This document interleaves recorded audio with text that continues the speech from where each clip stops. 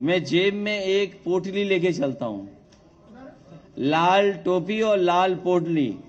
ये अन्न अन्नदाता के पक्ष में हराने के लिए, उन्हें भगाने के लिए अन्न संकल्प लेकर के चलता हूँ। जयंत को बीजेपी की ओर से मिले न्योते के बीच अखिलेश यादव ने गठबंधन की ताकत दिखाई।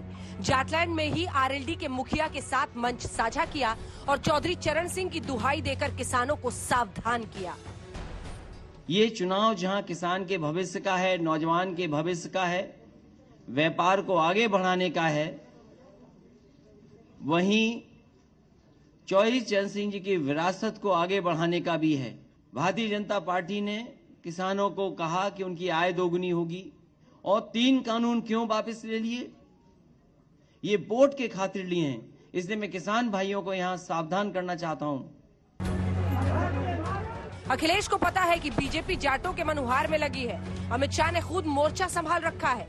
ऐसे में कहीं बात बिगड़ ना जाए। लिहाजा अखिलेश ने किसानों से ढेरों वादे किए और उन्हें भरोसा दिलाया।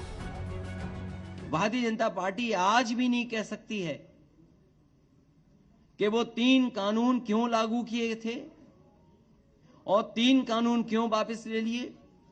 इसलिए मैं आरएलडी और समाजवादी पार्टी का गठबंधन है। किसान भाइयों को भरोसा दिलाना चाहता हूँ कि कोई भी ऐसे काले कानून उत्तर प्रदेश में कभी लागू नहीं हो पाएँगे। कल हमारे मुजफ्फरनगर में अखिलेश और जयंत का एक साथ दिखाई देना कई संदेश दे गया।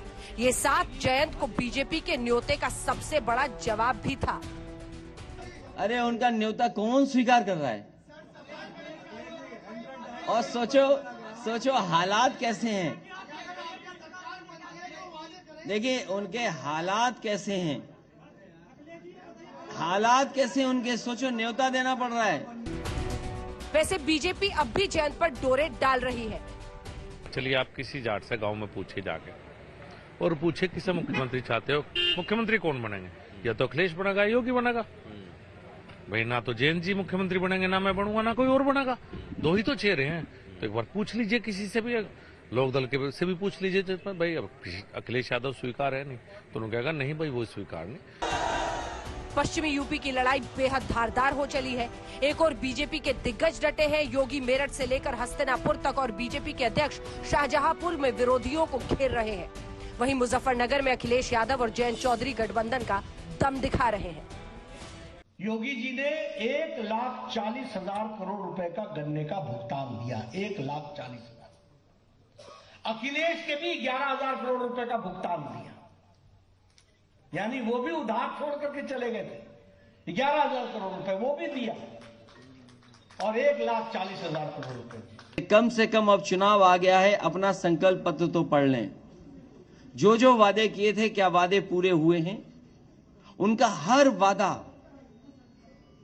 हर वादा जुमला निकला झूठे विज्ञापन दिए आज भी आंकड़ों की खिलवाड़ कर रहे हैं। और जब भारतीय जनता पार्टी घिर जाती है तो बुनियादी मुद्दों से हट करके काम करती है।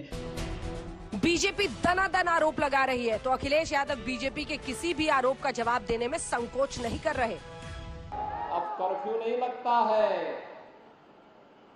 अब अपराधियों को जब सरकारी बुलडोजर चला करके निस्तनाबूद किया जाता है तो अपराधियों के संरक्षकों के घर में कर्फ्यू लगता है।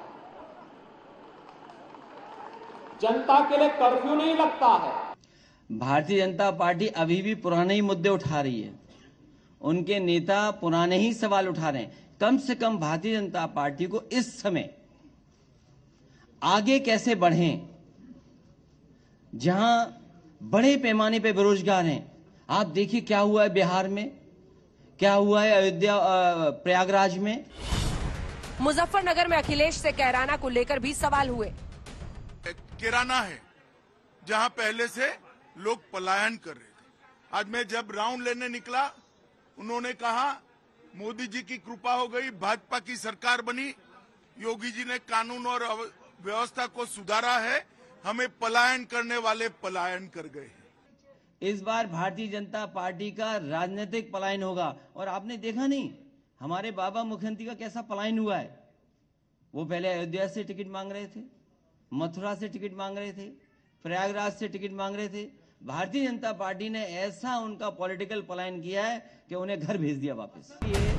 मुजफ्फरनगर में अखिलेश यादव को एक बजे ही प्रेस कॉन्फ्रेंस करना था लेकिन वो देर से पहुँचे। उन्होंने आरोप लगाया कि दिल्ली से उनके हेलीकॉप्टर को उड़ने ही नहीं दिया गया। आज तक ब्यूरो।